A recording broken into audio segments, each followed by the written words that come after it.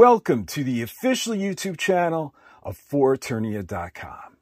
I'm your host AJ, and today we're doing an unboxing and a mini review of the Masterverse, Masters of the Universe Revelation Wave 10 Clamp Champ figure.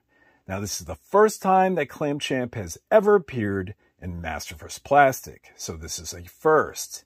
And I want to elaborate more on first just for a moment. And that's why I have these two Masterverse figures out today. To the left, I have the Revelation Fisto, and to the right, I have the Revelation Teela 2.0, otherwise known as Classic Teela. And I wanted to get this trio together because do you remember in the Masters of the Universe Revelation episode one, these three were running together. They were charging towards Castle Grayskull. The reason why they were running there is because Skeletor, they had learned that Skeletor had taken over the castle and they were going to try to take it back. And it was very exciting. Well, that episode marked the very first time, the very first time that Clamp Champ had ever appeared in Masters of the Universe animated form. That's right, he was never in a cartoon before. Now, his original figure came out in 1986, and unfortunately, it was too late to appear in the Filmation series. The Filmation series, He-Man and Masters of the Universe, aired between 1983 and 1985. So Clamp Champ didn't even exist yet. And uh, he never appeared in New Adventures, and for some reason, he never appeared also in the 200X Mike Young series. I mean, I heard that he eventually was going to appear, that he eventually was going to replace Man at Arms. Maybe it was going to be season three but he never actually appeared. But finally, 35 years later, here he was in episode one, and we got to see him use his techno clamp against a Skeledroid, and he crushed a droid and then slammed it to the ground. And it was very exciting to see this for, you know, Clamp Champ fans. So, all right, so that's enough about history. Let's take a closer look at that packaging. So here is the packaging for the Heroic Master of Capture. We're going to flip this around and look at the terrific Masterverse artwork. This time the artist is Simon Eckert and the artwork is fantastic as usual. On the spine of the box, we have that posing shot of our heroic warrior, you know, the profile shot. It's Clamp Champ, and he's not wearing his techno clamp. He's just holding it, and it looks like he's posing in the in the palace in Eternos, which is pretty cool. And then on the back, uh-oh, on the back, this is the scene. And then we have Fisto and we have Clamp Champ and they're fighting those skeletized zombies. And this is right before the moment where they both die. And if you remember, their souls land in Skelegod's hands and Skelegod's crushes the hands and crushes those souls. And I think condemns them to hell, right? Subternia. And uh, a lot of fans did not like this moment.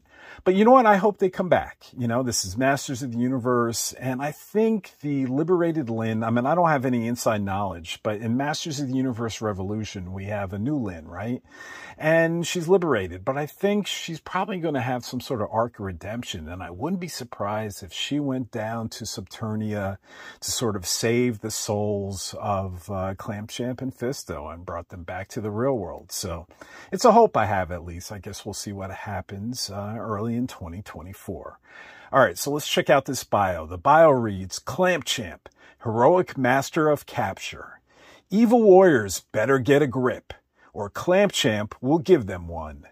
Armed with his techno clamp, the heroic master of capture puts his enemies in a pinch on the battlefield.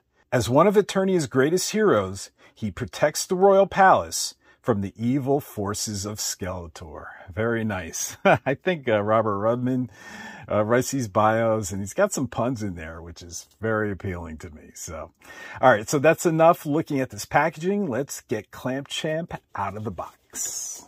So here is the Masterverse Revelation Clamp Champ out of the box and in 360 degrees. And wow, am I excited. I have to be honest, the last review that I did, which was the Revelation Horde Skeletor, it kind of ended on a bummer for me. I wasn't 100% satisfied with this figure, but now I'm back to being excited. I'm definitely satisfied with so far with what I'm seeing. I mean, this looks like the uh, Clamp Champ that came out of Masters of the Universe Revelation, you know, the animation model. I think all the colors are spot on from the fur, the red fur and the loincloth and on the boots and the boots itself and the bracers and the armor. And the only thing I can tell maybe is different is the blue is right, but on this figure, it's metallic blue. And it's metallic blue here, but I think that's just an improvement. It just makes it look more realistic. So I'm really excited here. So, all right, enough with spinning around in 360 degrees. Let's get Clamp Champ down and take a closer look at that head sculpt.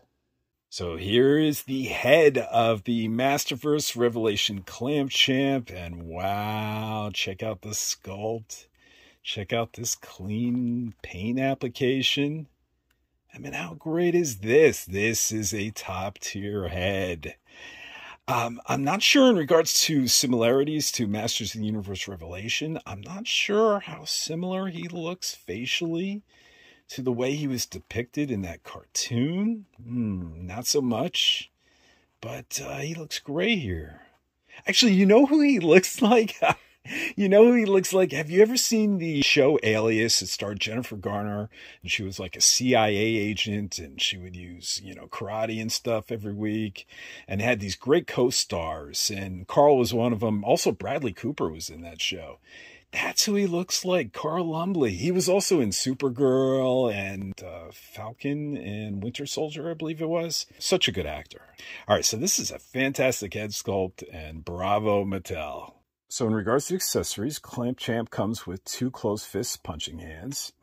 And then he comes with his Techno Clamp. And the Techno Clamp actually comes in two pieces. And you have to assemble it around his arm.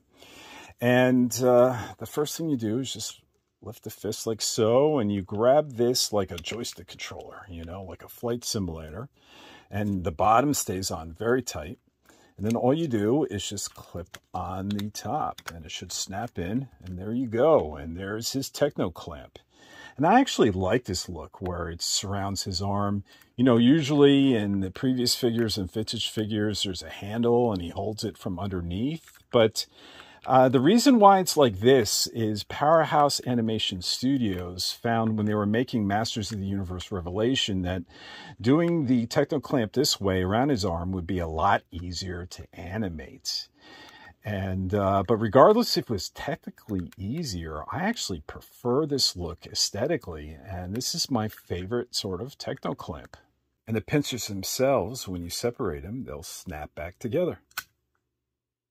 So when it comes to articulation, everything is terrific on this figure except the head. You know, everything else is just wonderful, everything you expect from Masterverse and those 30 points of articulation.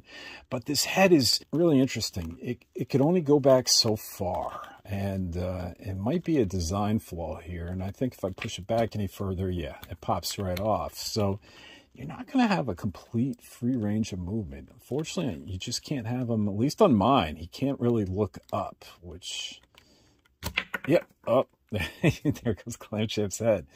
So other than that, it's terrific, but um, he's not going to be looking at up at Zoar anytime soon. So here's the Masterverse Revelation Clamp Champ, and here's the Masterverse Revelation Fisto. And you know I just had to put these two together because these two have a history together. You know, anyone who's familiar with these characters knows that they are blood brothers in plastic. They have a shared history in plastic. And that's because in 1986, when Mattel made this vintage Clamp Champ figure, Clamp Champ was basically just a repaint of Fisto. All they did was take a Fisto body, replace the head, give him two normal hands, and repaint him. And that was it. Clamp Champ was born. And because of that similarities, you know, they had this common bond that I think collectors just like putting them together, especially that they're both heroic masters. And collectors just love uniting these two. And that's why it was so great to see them together in Masters of the Universe Revelation as well. So when there's a new Clamp-Champ figure, uh, fans come to expect Clamp-Champ to be a reuse of a Fisto body. And that's primarily mostly true here, but there is one additional difference. Um, starting with the feet, the boots are the same. You can tell the bootstraps are painted on Clamp-Champ, not on Fisto, but they're definitely the same sculpts. The fur on the boots are the same. The calves, the knees, the thighs, the loincloth, and the belt is the same sculpt. Uh, the forearms are, and the biceps and the shoulders.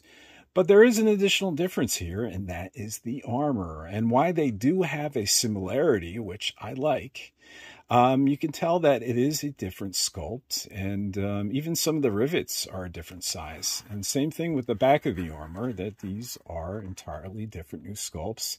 And even though their armor is overall still very similar, I do like having some additional unique characteristics.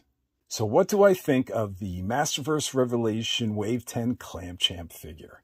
I love him. First, I love him for the history he represents. You know, I love the fact that this is the figure from the first time he's ever appeared in animated form. And what a form this is. Look at the sculpting, you know, especially the head sculpt. It's such a fantastic head sculpt.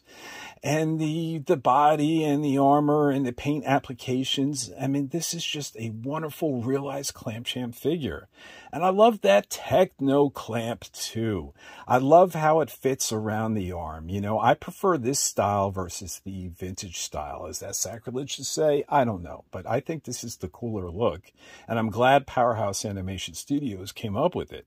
And for me, this is really the Clamp-Champ figure to have. Yeah, I would like the head articulation to be a little better so Clamp-Champ could actually look up uh, when I'm posing him. I would have loved an additional head. You know, you remember the horned head, which is when they turned into those uh, skeletized zombies, and both Fisto and, and Clamp-Champ turned into those creatures. I mean, it would have been really cool to include that head as well so we could present that look. But you know what? That's not a deal breaker here. This Clamp-Champ is fantastic. And I think I'm going to be displaying this guy on my shelf prominently in the front, at least for the unforeseeable future. This is a real good figure all, and uh, I highly recommend it. All right, so that's it. I want to thank you all for watching, and we'll see you next time.